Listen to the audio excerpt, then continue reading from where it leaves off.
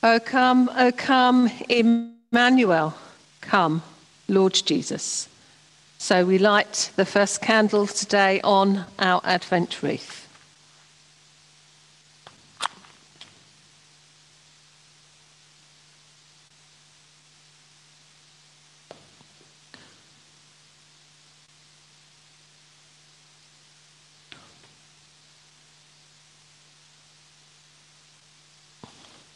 Let us pray. Lord of light and longing, we light this candle to remember the grandparents of our faith, people like Abraham and Sarah, who waited for a child to call their own and a place to call their home. We give you thanks for their faithful witness to your call and pray for all who are waiting this year to see their families, to hug their loved ones and for a safe place to live. We pray for all those caught in areas of conflict, violence, and oppression, all those who are struggling to provide shelter, food, and warmth for their children. Lord of light and longing, you waited with your people of the faith from our past. We ask you now to wait with us during this time of waiting and advent. This we pray in Jesus' name. Amen. We dare to light a light of hope despite the darkness of our world, in the face of cruelty and suffering, of oppression and inequality. We dare to hope. In a world that sometimes seems hopeless, we dare to hope. With the patriarchs of old, we dare to hope. We light a candle in the darkness. We dare to hope. O come, O come, Emmanuel. Come, Lord Jesus. When the Lord comes, he will bring to light the things now hidden in darkness and will disclose the purposes of the heart. Therefore, in the light of Christ, let us confess our sins. Lord Jesus, you came to bring peace. Lord, have mercy. Lord, have mercy. You come in word to make us strong. Christ, have mercy. Christ, have mercy. You will come in glory with salvation for your people. Lord, have mercy. Lord, have mercy. May the Father of all mercies cleanse and restore you in his image to the praise and glory of his name through Jesus Christ our Lord.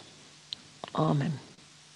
And in this Advent season, we use those words of the Kyrie Lord, have mercy. Lord, have mercy. Christ, have mercy. Christ, have mercy.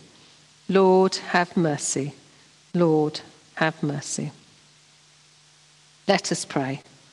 Almighty God, as your kingdom dawns, turn us from the darkness of sin to the light of holiness that we may be ready to meet you in our Lord and Saviour, Jesus Christ. Amen. Listen now to our Old Testament reading read to us by Mary Wright this morning. The first reading is taken from Isaiah chapter 64, verses 1 to 9. Oh, that you would tear open the heavens and come down so that the mountains would quake at your presence, as when fire kindles brushwood and the fire causes water to boil, to make your name known to your adversaries, so that the nations might tremble at your presence. When you did awesome deeds that we did not expect, you came down, the mountains quaked at your presence. From ages past, no one has heard no ear has perceived, no eye has seen any God besides you, whose work, who works for those who wait for him. You meet those who gladly do right, those who remember you in your ways. But you were angry, and we sinned. Because you hid yourself, we transgressed. We have all become like one who is unclean, and all our righteous deeds are like a filthy cloth. We all fade like a leaf, and our iniquities, like the wind, take us away. There is no one who calls on your name or attempts to take hold of you. For you have hidden your face from us and have delivered us into the hand of our iniquity. Yet, O Lord, you are our Father. We are the clay, and you are our potter. We are all the work of your hand. Do not be exceedingly angry, O Lord, and do not remember iniquity forever. Now consider, we are your people. This is the word of God.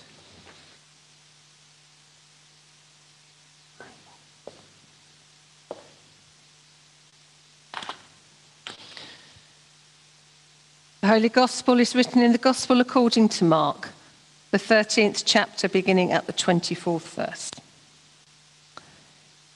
The Lord. Jesus said to his disciples, In those days after that suffering, the sun will be darkened and the moon will not give its light, and the stars will be falling from heaven, and the powers in heaven will be shaken. Then they will see the Son of Man coming in clouds with great power and glory. Then he will send out the angels and gather his elect from the four winds, from the ends of the earth to the ends of heaven. From the fig tree, learn its lesson. As soon as its branch becomes tender and puts forth its leaves, you know that summer is near. So also, when you see these things taking place, you know that he is near, at the very gates. Truly, I tell you, this generation will not pass away until all these things have taken place. Heaven and earth will pass away, but my words will not pass away. But about that day or hour, no one knows, neither the angels in heaven nor the Son, but only the Father. Keep alert, for you do not know when the time will come. It is like a man going on a journey. When he leaves home, puts his slaves in charge, each with work, and commands the doorkeeper to be on the watch. Therefore, keep awake for you do not know when the master of the house will come in the evening, or at midnight, or at cockcrow, or at dawn. Or else he may find you asleep when he comes. And what I say to you, I say to you all keep awake. This is the gospel of the Lord. Praise to you, O Christ.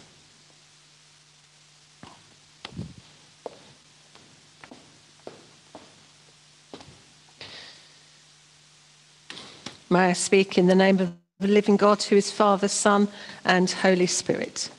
Amen. Today, we begin our journey of a new year on Advent Sunday.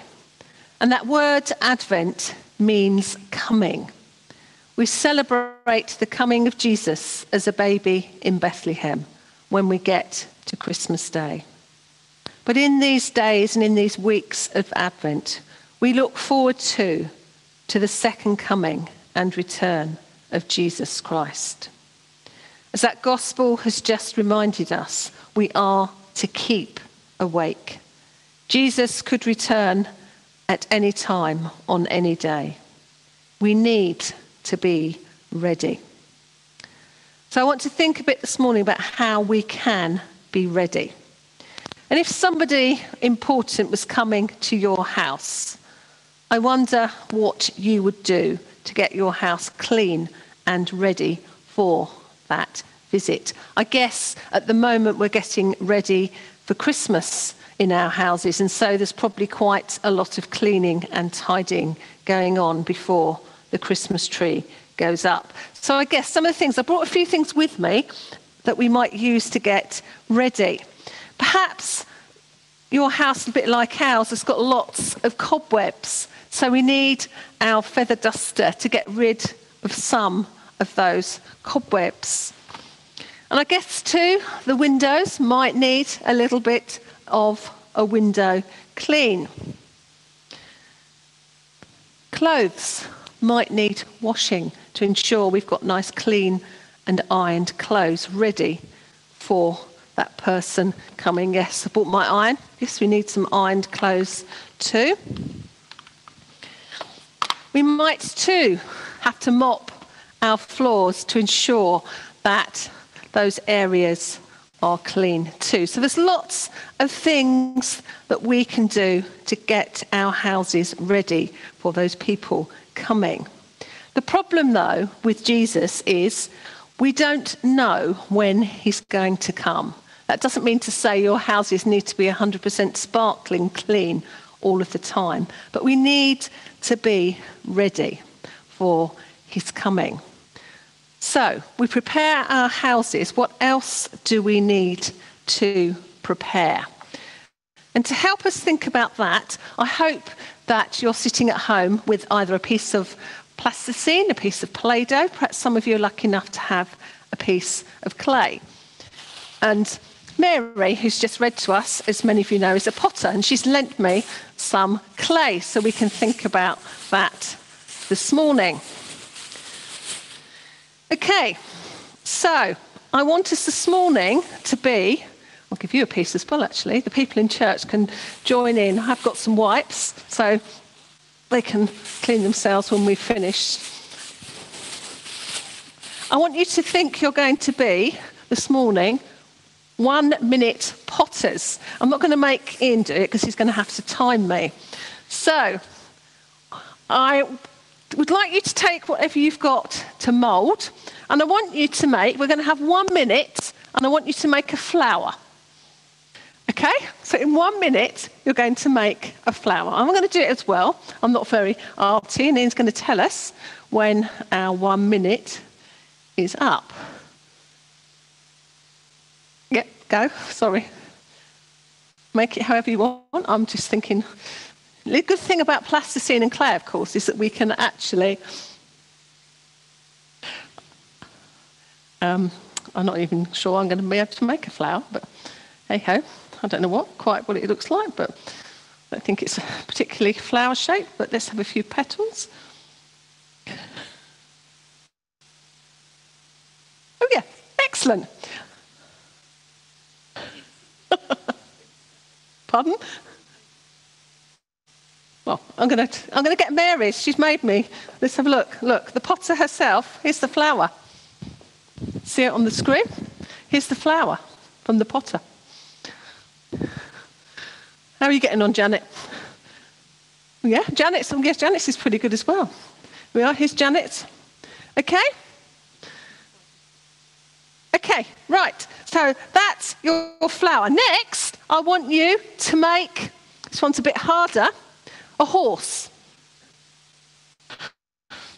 And then in a minute, okay? Ready? Steady? Here comes our minute.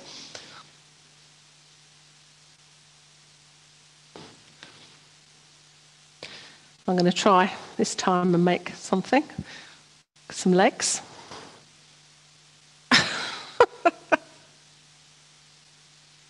You children at home and adults are actually a bit more successful all I've got at the moment is four legs, even three legs.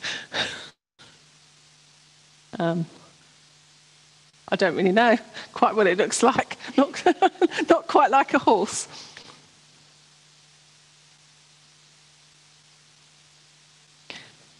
Ten seconds? Twenty? Oh, yes, Janet's is looking pretty horse like. Oh, yeah? Do you want to wave it in front of the iPad, Mary? We'll probably just Oh, who are his Marys? Look at this one. This is pretty good.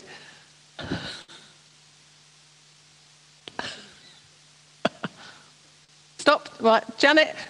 Janet, she's got three legs, I think. Four. Okay, there's Janet's. Okay. Right. Right, lastly, I want you to make a vase. This should be pretty easy for Mary because she makes them all the time. Go. I think I can even manage that. Little tiny.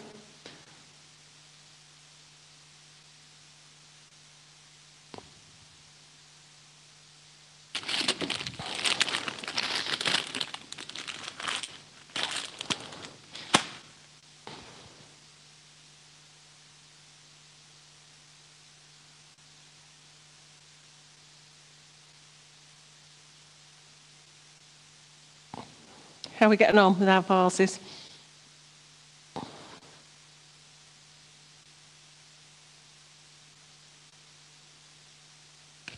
Ten, how many? 20? 20.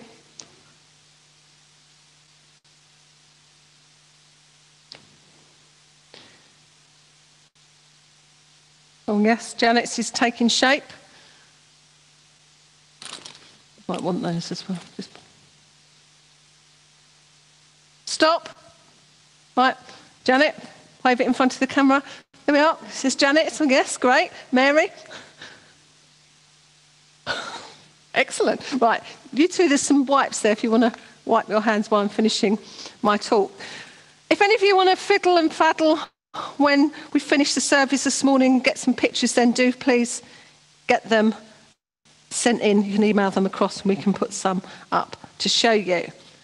So, at the moment, that clay is quite easy to work with, and that's been sitting in my house wrapped up in three plastic bags, all tightly air sealed. If I left this piece of clay out for any length of time, and even now, it's beginning to dry out. And it wouldn't be at all easy for us to mould. And that was very much like that reading that Mary read to us, that reading from the book of Isaiah. And Isaiah was pretty cross in that reading with the people. He said, You are our father, we are the clay, and you are our potter. We are all the work of your hand. Do not be exceedingly angry, O Lord, and do not remember iniquity forever. Isaiah was cross with the people because they had very hard hearts, a bit like the clay drying out and unable to be changed and unable to be moulded. But God can work through all those hardnesses of hearts that we have. He can enable people to turn away from their ways and to turn back to God, because that is the sort of God we have and the sort of God we worship. Like the potter makes the clay into pots, God can mold us and shape us to become those people he wants us to be.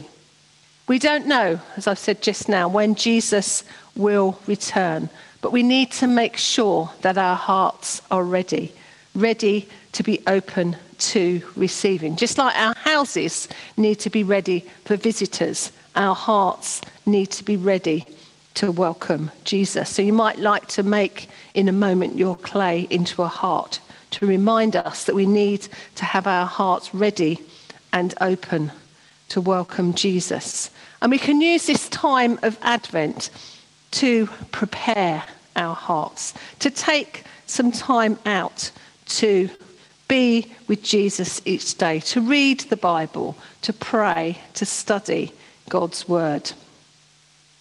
And this morning, we haven't been able to gather in church and to physically have you present to light our Advent wreath. So, you families, you will have had delivered this week a do it yourself Advent wreath to make at home. And I'd encourage you to get the cross coloured, the shape cut out, put it on a plate and get some tea lights. And each Sunday in Advent, even if you come to church in the morning, to light that Advent wreath to remind us that we are preparing our hearts to welcome Jesus this Christmas. So let's be those people who are ready when Jesus does return to welcome him into our hearts and lives. Amen.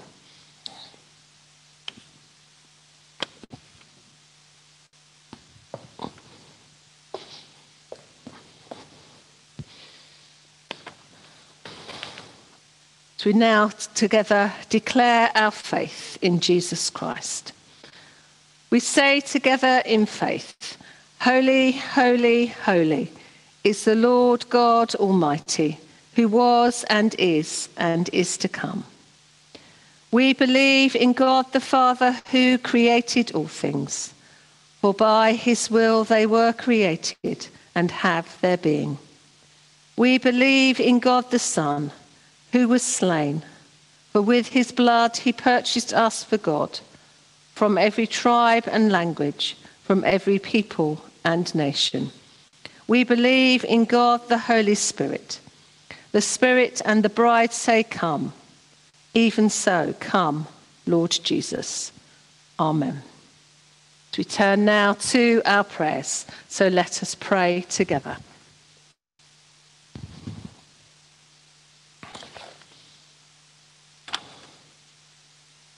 As we begin a new year in the life of our church, let us pray together to the God of our making. Holy God, just as we are, we come to you and ask for your kingdom to come in us and in this place. Increase our faith and our love for you so that we may become lights in the darkness that we are called to be. Lord, in your mercy, hear our prayer. At this time of Advent, we continue to pray for the West Sevenoaks team. We pray for each of the churches in that team as they too prepare during this Advent season to welcome you at Christmas. And We pray too that you would give us hearts that are open to receive you again this Christmas. And we pray that in all the midst of our own Christmas preparations, we may never forget the reasons what we are celebrating. Lord, in your mercy, hear our prayer. Holy God, we pray now for our world, a world where there is greed, distrust, and people continue to fight with one another. We pray that you would break down the barriers between individuals and countries and enable them to live more effectively together in harmony.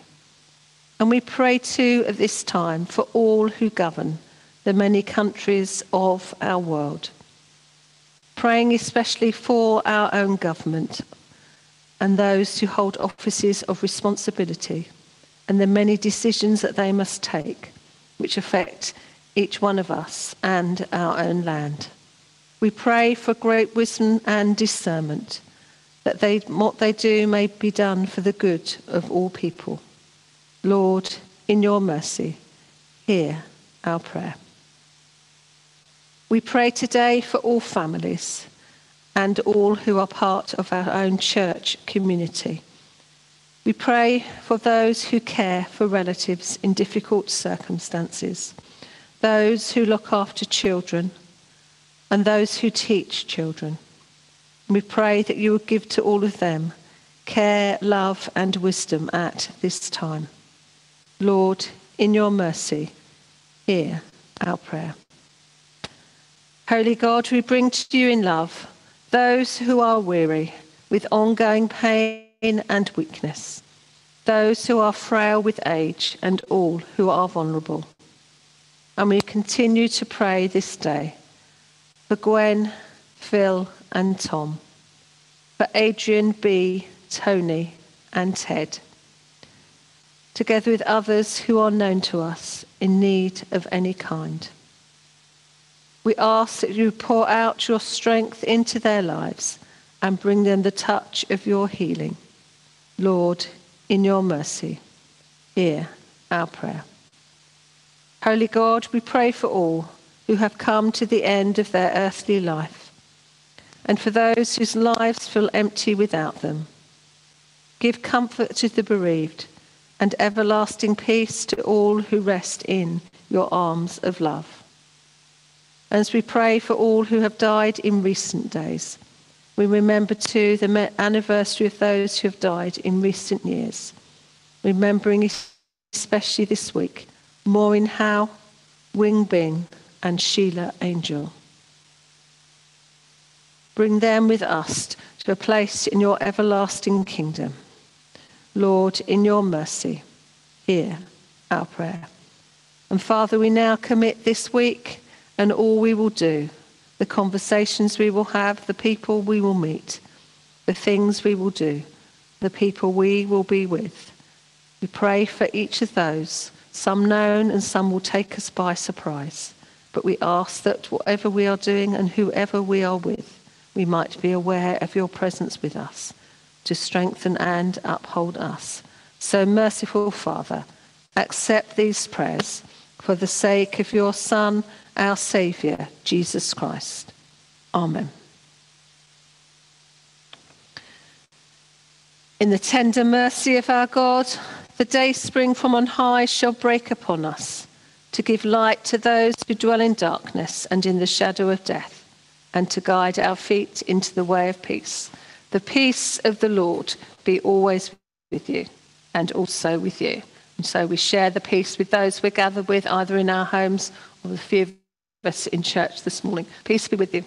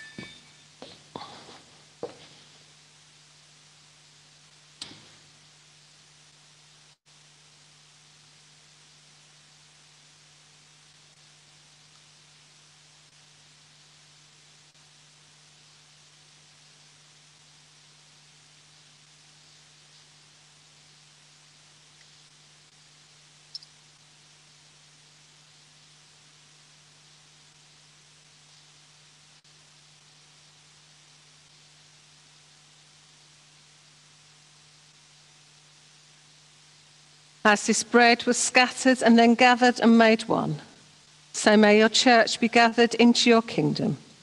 Glory to you, O God, forever. Wisdom has built her a house. She has mixed her wine. She has set out her table. Glory to you, O God, forever. The Lord is here. His Spirit is with us. Lift up your hearts. We lift them to the Lord. Let us give thanks to the Lord our God. It is right to give thanks and praise. It is always right to give you thanks, God, our Creator, loving and faithful, holy and strong. You made us and the whole universe and filled your world with life.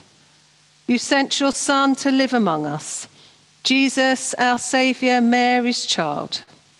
He suffered on the cross he died to save us from our sins. He rose in glory from the dead. You send your Spirit to bring new life to the world and clothe us with power from on high.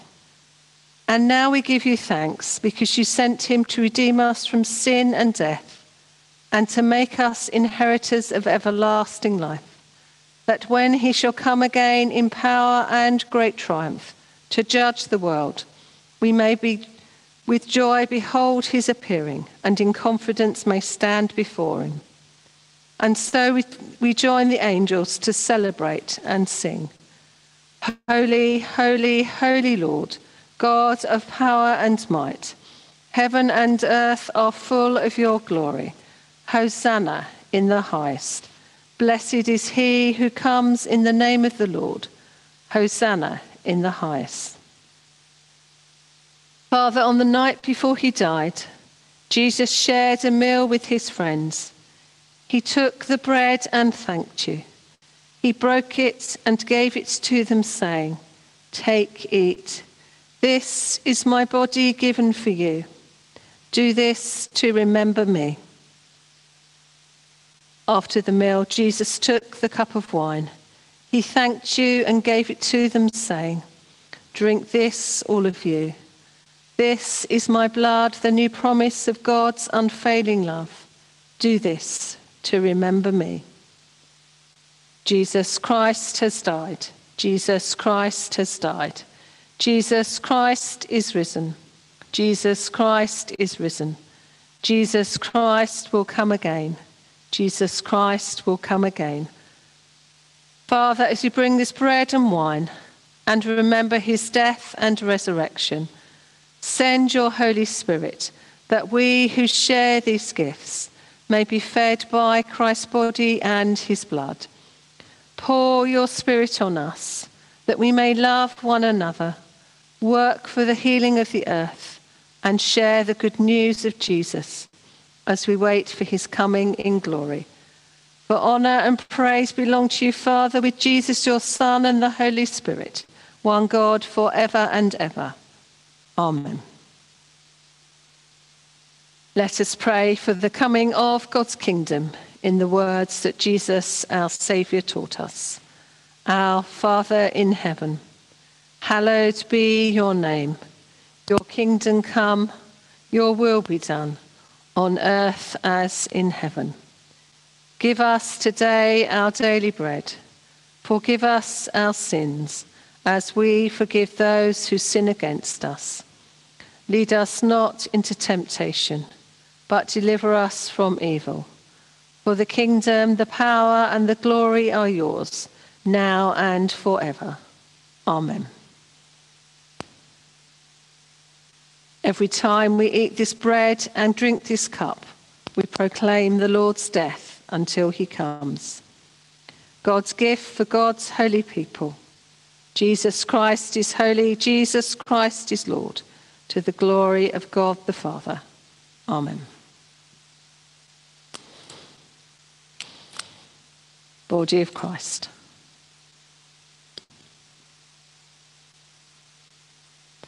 Blood of Christ.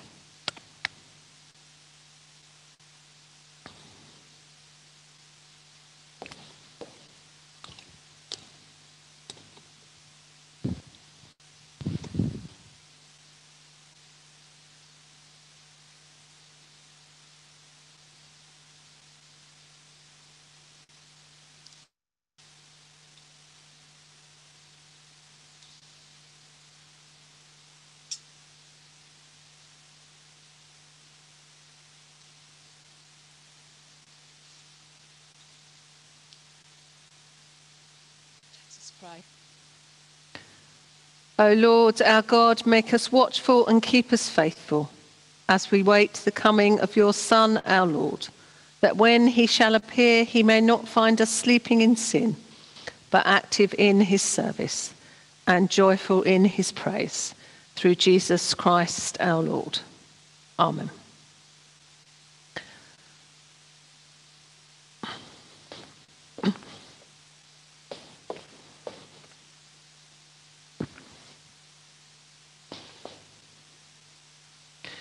Just a few notices to give out this morning. Next Sunday, we will be back in church. Our Christmas tree is arriving at the end of the week and will be up and ready, decorated. And obviously, we'll continue to light our Advent candles. There'll be a message to those of you that have got younger children as to whether junior church can meet next week. We need to look at the regulations. The Church of England haven't actually produced the update yet, but Marie will be in touch to let you know whether there will be a junior church session live in the church hall next Sunday. Otherwise, you're welcome to come into church and we can provide tables for you to use during the service should you need them. If you go onto the church website, you can now book your slots for your Christmas services. All four Christmas services, lessons and carols, Christingle, midnight, and the main service on Christmas Day will need you to book a ticket to come into church. That's obviously, I'm not anticipating it being a problem, but we just need to make sure that we have space for people that want to come. If you happen to get on there and there's no tickets left, then please email me. We can start a waiting list, but you do please need to do that. So do go on to the website and do that. Obviously, all services now can be back in church. But we obviously will need to be extremely careful being in tier three that we come into church and we leave and don't congregate outside church for a natter. The reason we can be in church in tier three is that we come in and then disperse at the end of the service, which is unfortunate, but that has to be the case for the next two weeks until perhaps things might change. Just a reminder that our Advent study group starts this week on Tuesday. If you'd like to join us, then join us via the link on the weekly letter. For our blessing, we're going to listen to another Advent hymn on Jordan's banks, the Baptist's cry.